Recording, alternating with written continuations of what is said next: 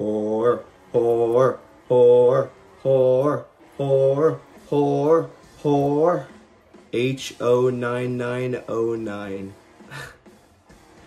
That's not that's not how you say it, okay? Fuck. Don't punch me, OGM, okay? What is up, internet? I'm gonna be doing a comprehensive review of Horror's live concert that I went to recently. Hopefully, this review will give you an idea of who is the perfect audience to go see horror if you haven't seen a horror concert.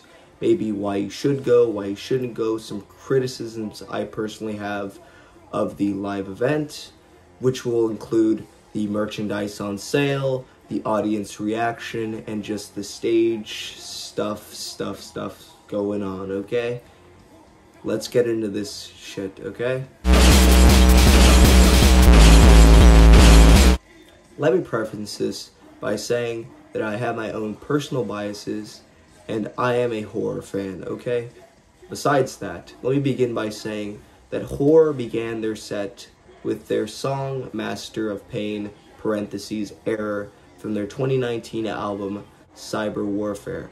Personally, it's a great song. I thought it was a great introduction as the creepy piano slash synth sounds helped to bring the audience a bit alive because they were the opening act. If you didn't know, I went to the Knotfest 2022 Roadshow.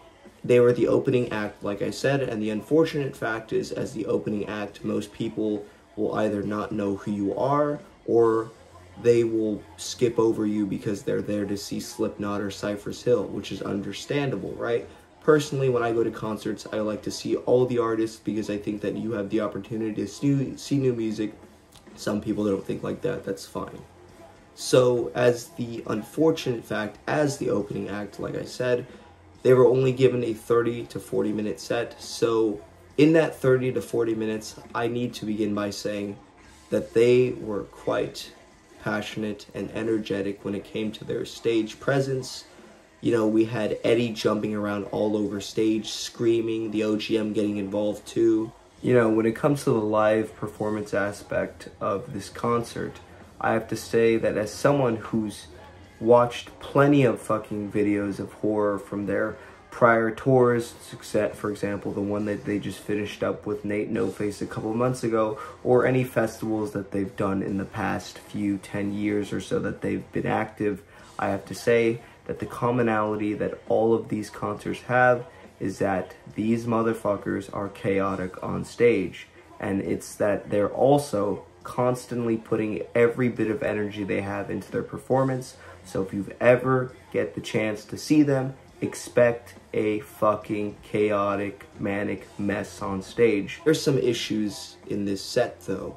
I need to begin by saying that I found it quite odd that they didn't play any of their United States of Horror songs, any of their hits from that album. You know, War is Hell, Knuckle Up. These songs that have over a million plays on Spotify, I thought would be great for them to perform in front of a new audience of people who've never seen them, but oddly they did not. They did play Batteries Not Included, which is a great hit song from their new album, Skin, but I would have preferred that they performed some United States of Horror songs only because it would benefit them as it could draw in more of an audience. That's a complaint I have when it comes to their set list. Now, let's get into the merchandise that they were selling. At the stand, they were selling a myriad of Slipknot merchandise. You had some Cypress Hill stuff, jackets, stuff from their new album, tie-dye stuff, usual, and then you had the horror merchandise. And I understand as the opening act, you're not expected to have a lot of merchandise.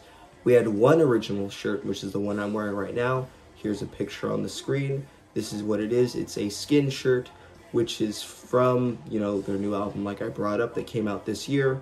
And then everything else was what you can find online. Keep in mind that the shirt that they had on sale was this plain black shirt, the hat, and then some stickers. Why do I find this to be an issue?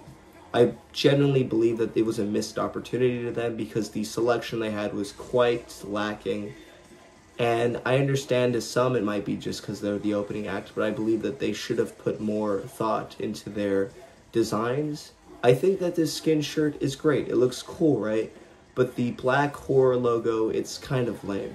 I have to say it. It's kind of lame. Some people might say it's clean. For 40 bucks, I don't know, guys. 40 bucks for that shirt, it's not worth it. Now, I need to get into who might like horror. Who might like horror? Now, if I had to begin by defining what horror's genre is, I would have to describe them as rap punk, mixture of hip hop. You know, from their United States of Horror album from 2017, they have a song like Feels Like Interlude if you're really into hip hop. And then you have songs like War is Hell or Knuckle Up, which are more traditional hardcore punk songs.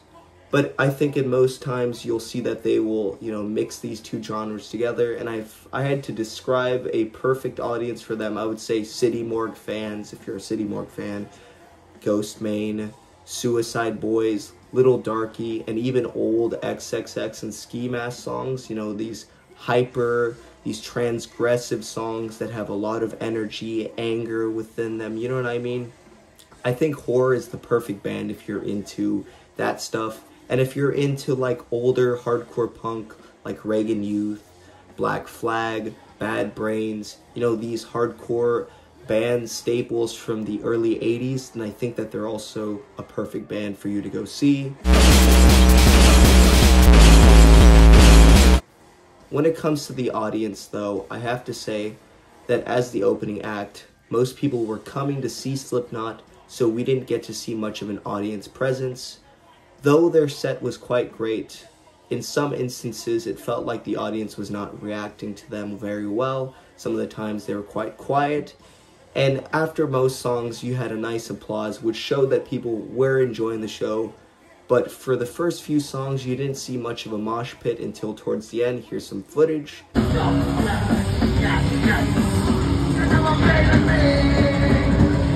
There was a bit of a mosh pit in the front section, but towards the back in the lawn, there was no mosh pits, unfortunately, which I expected there to be some, but there wasn't. I think that the audience was engaged enough to clap and enjoy the set, but not engaged enough to like scream or go fucking uh, go into the pit. But I think that's more of a byproduct of them being the opening act, so I'll waive that one is not really a category to rank them on.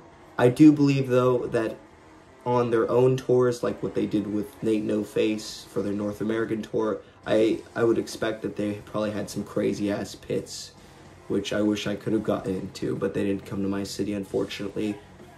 This basically wraps up my review. If I had to review this concert out of 26 sweaty men, I would have to put it somewhere between 17 and 16 out of 26, only because the merch was lacking, the set list could have been much better, and the audience engagement wasn't really there, but I kind of waived that so I would say that it you're getting a 17 out of 26. If you watch this review and you learned something, like it, subscribe.